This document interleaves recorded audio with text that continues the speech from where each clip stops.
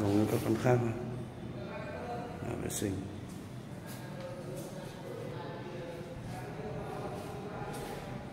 Bếp, phòng ngủ.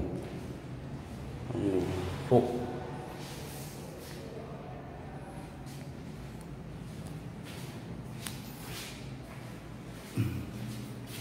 Phòng ngủ.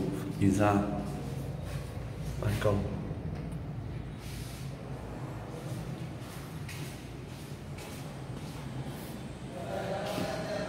babe.